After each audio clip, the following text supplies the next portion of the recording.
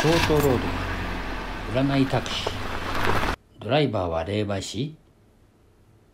50歳の転職。VS 霊媒師。表参道付近で2人の50ぐらいのスーツ姿の男性が乗ってきた。運転手さん東京駅まで。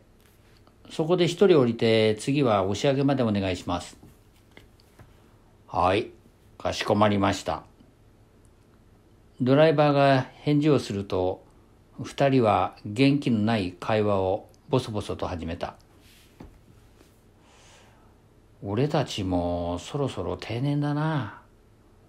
早期退職なら割増の退職金がもらえるけれど俺は定年まで勤めるよ。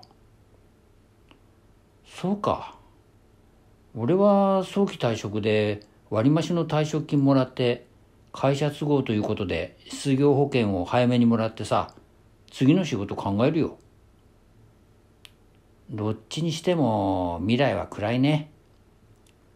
定年であるいは早期退職で辞める日お決まりの上司の挨拶と花をもらってその花持って電車で持って帰る姿なんて誰が見たって定年退職の人と思われちゃう。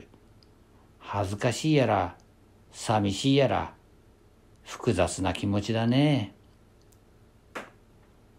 俺もきっと同じだ。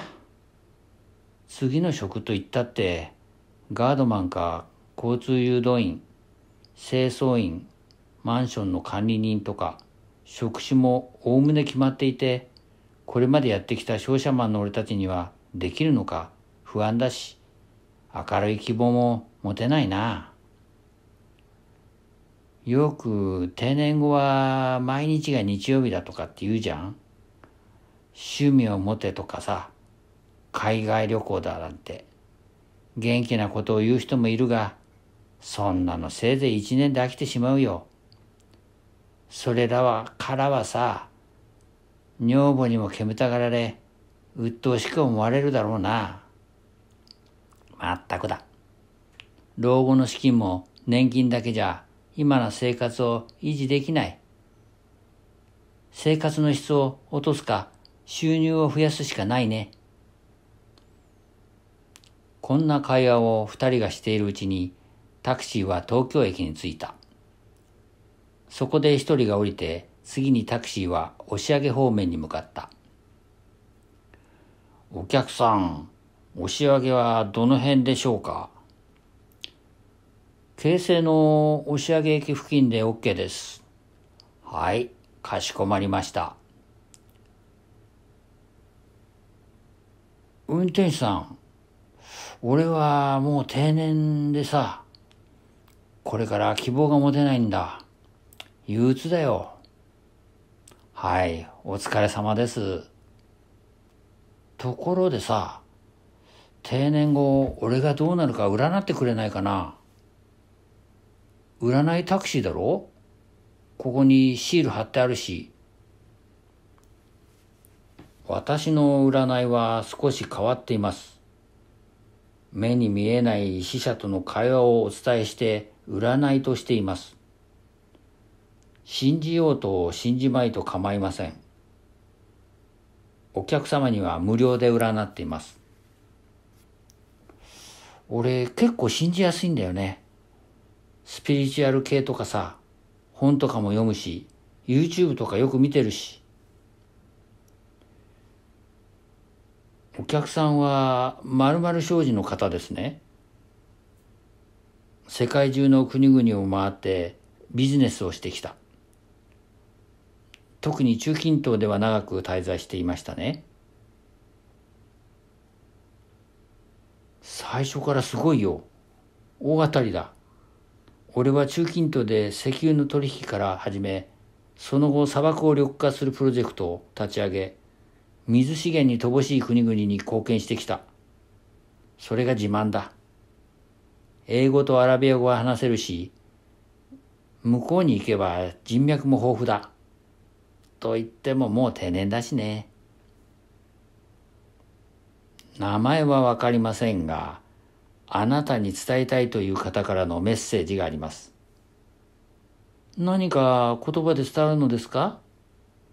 いえいえ、言葉で聞こえるのではなく、一度に全てが伝わってくる感じです。少しずつ情報が来るのではなく、一度にじわーっと湧いてくる感じです。それで、どんな占いになるのですか？定年後、地方の大学に応募します。地方の無名な私立大学では、定員割れで経営が非常に厳しく、なんとか学生数を定員に近づけたい。しかし、偏差値も低く、無名な私立の大学では、受験者がほとんど集まらないのが現状です。そこで学生数を増やすために、あなたの力を尽くすのです。でも、こんな年齢でもう還暦ですよ。大学の先生の定年は70歳のところが多いです。職員でも65歳が多く、年齢はあまり気にしなくても良いのと思いますよ。営業と企画力さえあれば、商社の時と同じように大学の売り上げを上げることにあなたの力を尽くすのです。地方の大学の救世主はあなたです。